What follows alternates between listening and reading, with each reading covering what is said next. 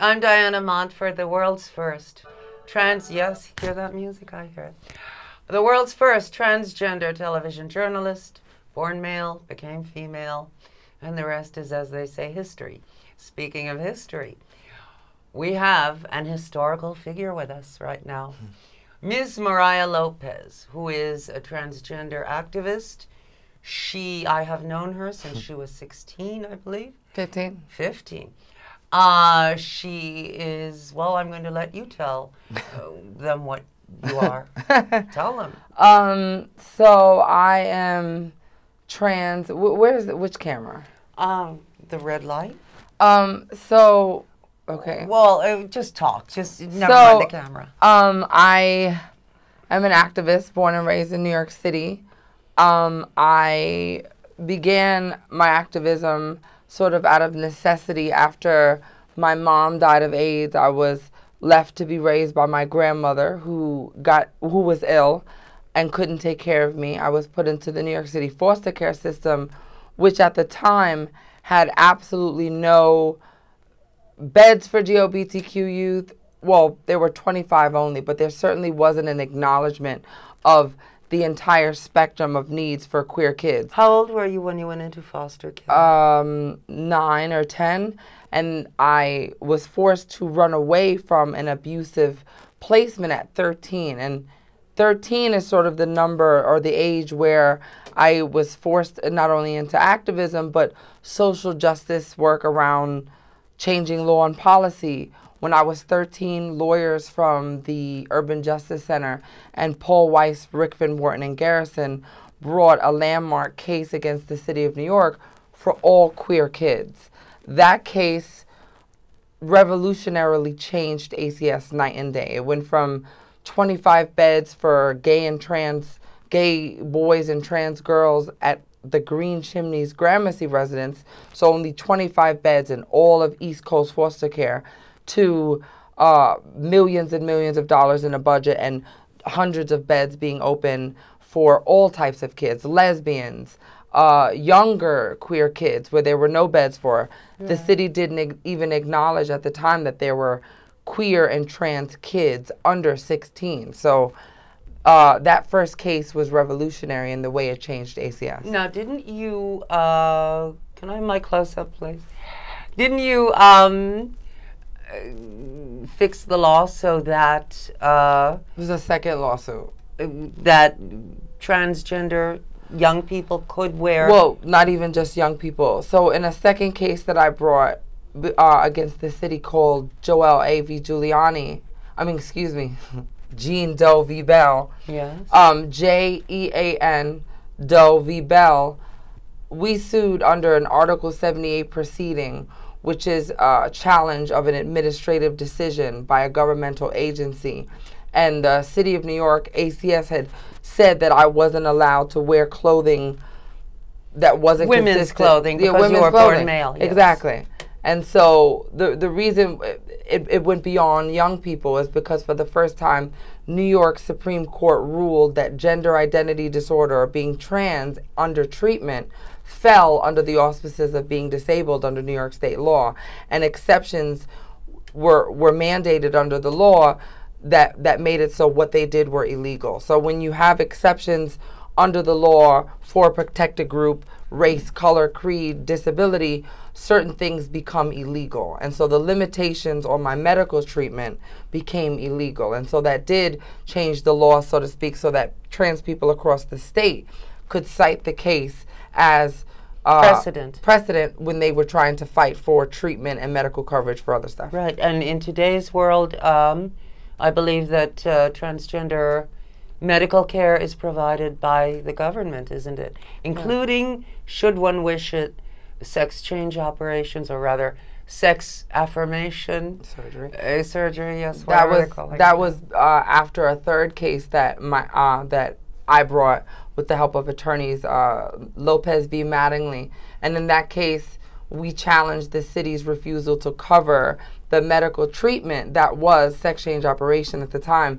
The city relied on an outdated, antiquated Medicaid policy and reasoning that said that sex change operations were experimental, whatever the reasoning was, Right. ACS, a lower court, a lower agency, relied on a federal agency's decision that was outdated as for their rationale. When when we won in my case, not only did it make it so that young people in ACS were able to now get surgery, it made it so it shattered the Medicaid uh, precedent or decision around not covering it. And so now Medicaid was forced, I think, through a lawsuit after, but because of my case, Medicaid now covers sex reassignment and facial feminization and top surgery. This is really important because overall, it's it's it's sort of funny when we joke about our new president elect Trump. Oh, please. But but but the ironic part is you'll laugh here, right? Voy a vomitar. Yes. You'll laugh. Sort of most trans people I know, if you left them alone and they were able to transition, whether they were poor or rich, Right. and go to school, we sort of have semi quasi Republican principles as trans people. We want you to leave us alone and mind your business. so we sort of like small government. Yes. We are all for paying our fair share of taxes and contributing when we Assuming can. we can earn any money. We're big- yes, yes, exactly. We love to make money, and when we make said money, we don't mind paying our taxes. good. and at the end of the day, I think you won't. You, I haven't heard a lot of trans We're big people- into the gender binary. Binary, and, and also we're Second Amendment folks too. I mean, at the end of the day, I don't know a trans person that wouldn't like her firearm or pistola to be able to protect herself. J- jokes aside, I think that what conservative people that that that may be considering rolling back trans rights need to consider you leave us alone and you allow trans people to be the people they are, we're no threat to the American society that they hold dear. And if anything, we contribute. Yes. Be no fool that I think conservative and the conservative right and the Christian right, they hold certain principles dear to them. And trans people are some of the toughest, mm-hmm. most resilient, community oriented, family oriented people we know. Mm-hmm. So we share a lot of values in common with the conservatives. And I don't want to sort of beat their drum too much, but at the end of the day, we do need to not live in a world where we don't acknowledge the potential for rollbacks for trans stuff. The other thing is that trans people are not seeming to pay attention to the potential picks the Republicans, uh, the Republican elect makes for the Supreme Court. The irony and sort of bittersweet to this is trans stuff is just starting to take off. And there are cases working their way through the lower circuit courts that could have been uh, some of the first co- trans cases to reach the Supreme Court that we needed. What would be a nightmare is for the first cases that reach the Supreme Court to be cases that are decided badly. Yes, but we don't know for sure because even Republicans have trans friends or Oh, of relatives. And or and Donald. Trump was was the only Republican candidate to come out in favor of allowing trans people to use whatever bathrooms they they'd like. Look, I was raised down the street from here, across the street from We're on was uh, West 59th Street. on the Upper West Side, across from where Trump Towers is. I, I mean, I, I grew up in a Trump New York. I'm as New Yorker as Trump is. I um he likes winners. I, I doubt Donald Trump will ever see this interview, but as a winner, as a, the consummate New Yorker, and as someone that sort of believes in a lot of the same things that he believes, as a millennial, I want to fight ISIS. I want to, uh, I want to fix universal health care or uh, health care across the nation so it works for everyone. What we don't need again is our rollbacks. And we, what we would appreciate as the GLBT community in general, I believe, is sort of just leave us alone Yeah. and uh, and focus on the bigger issues. There are bigger issues that I believe from the Rust Belt to here in the village of New York City that people can agree with. It's not the sophisticated Republicans like Trump who dislike us. It is the evangelicals who, you know, are very fire and brimstone and choose to dislike us. And, you know, I spoke with uh, Mayor de Blasio on the radio recently, on the Brian Lehrer show. And I asked him, this was like two, three days after Trump won. I was heartsick, obviously. I said, you know, can this man roll back trans rights? And he said, Mayor de Blasio said, Diana, don't worry. New York is, in effect, a city state.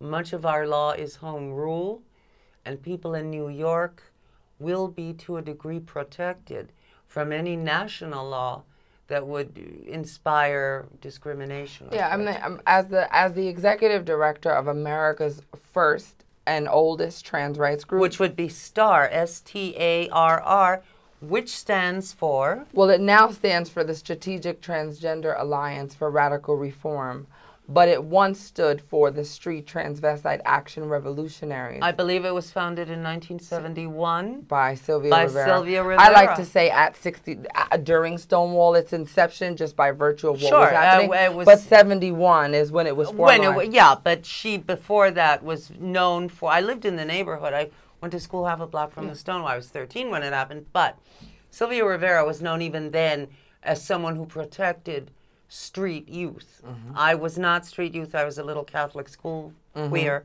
but close enough. I mean, I used to see her around, and you mm-hmm, know. Mm-hmm. And so and so now, um, after Sylvia died, I was I was very young when Sylvia passed away. In 2000. D- yes. Diana, you're one of the only people that can remember Sunday brunches with both with you, myself, yes, Melissa Sklarz, yes. Chelsea Goodwin, Rusty yes, Mae Moore. Yes it's hard to relay the level of mentorship that was bestowed upon me by your generation and sort of how yes. that carryovers to my work. And so when Sylvia passed away, I, I was too young to effectively restart STAR. And so I waited a while. A couple of years back, the opportunity arose to not only restart STAR, but to take on the focus of cold case trans murders. Uh, the, the co founder of STAR was Marsha P. Johnson, and her murder was closed or the murder investigation, she died in, in 1992. Yes, if Marsha P. Johnson was found floating in the river and no one is sure if she was murdered, if she simply fell into it uh, in a moment of fatigue or whatever. Uh, no one is sure what happened to Marsha P. Johnson. Well, I got her the murder investigation reopened with contacts at the district, the Manhattan District Attorney's office, and one by one, starting with Marsha's case, have been able to get uh, New York City officials and officials across the country to reinvestigate or to sort of prioritize cold case trans cases um, as a way of deterring current violence. Where myself and other activists on the front lines disagree in how to reduce trans murder is that I believe that just like the rest of society, the law is meant to work a certain way. And trans people, although it feels like we're under attack, we aren't really, there aren't, you know, there aren't groups of people like the Ku Klux Klan looking to kill us on a right, daily basis. Right, right, the way you deter the type of violence that leads to the murders that we're seeing is the good old fashioned criminal just, justice system working. So I have a hashtag out that I'd love people to share. It's sort of as long, but it's, it, you know, it's not as generic as Trans Lives what Matter solve trans murder, save trans lives. So two different hashtags. When you, if a case like Marsha or Venus Extravaganza or Lorena yes. Escalera, all of these cases, Ali Forney, I've got Ali Forney's case reopened. Wonderful, but he wasn't trans. He was. she was man. a trans person. Was she really? Yes. And so, trans, gender variant, gender queer, drag, it all. This person was murdered and the same type of person. This is this is what's key actually. I'm glad you brought that up. So part of the reason these cases backlog and they are not solved is that the nuances around us when i mean us is trans women gender queer gay men the, the people, lgbtq community. But the nuances of us and who would want to have sex with us and the wins and wheres and how ali forney might have ended up where they were there aren't a lot of community members dealing with the police. And I won't lie, I've, I'm from the rough and tough streets of New York like everyone else. And having the experience in the illicit criminal element to my life adds a layer of expertise I'm able to offer law enforcement. And so she wasn't transgender, but it's very likely that possibly or more than likely someone engaged in sex work or drug use with Ali right. or Luscious she went by murdered her and in order to being able to why would someone murder ali forney well well those, those so that's where I, I ended and it's another good point for not ended but that's where i sort of end my specific advice in speculation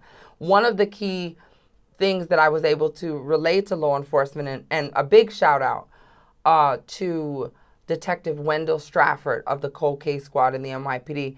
Um, Detective Stradford is a heterosexual African American man with no skin in the game, so to Right. speak, to look for, you know, to specifically um, hold closed trans cases. But Detective Stradford has been a steadfast ally and just wants bad people off the street and wants to get murderers. And sort of this is what we need. But to go back to where I sort of retract or end my advice to law enforcement, one of the things I told Detective Stradford in a case that we were discussing is that you may you may end up finding the killer and information surrounding it before you understand why. So if you ever get stuck on why a murder might have happened, mm-hmm. I've been in instances in both drug dens and after hours on street corners and in people's houses where rage, anger, misunderstanding, drug fueled misunderstandings can lead to violent instances in, in matters of seconds. So, our life and our complicated lives as trans people and all mm-hmm. these nuances from sex work to kiki girlfriends and gay families and boyfriends, girlfriends, tricks, tranny chasers What is a Kiki girlfriend? Uh, you know, a a friend, a close associate. The point is, there were so many layers to our social lives that I don't believe law enforcement should necessarily get stuck on the whys. If they get to a of the W H Y, I don't think Right. they they should always get stuck on why something happened because they will never figure that out. And in the instant case I'm referring to, I believe the detectives have are, are close to making arrests in, in a case, and I believe they got there not by trying to figure out the why, but but taking What my case advice. is that? I'm not allowed to speak about it. Oh, okay.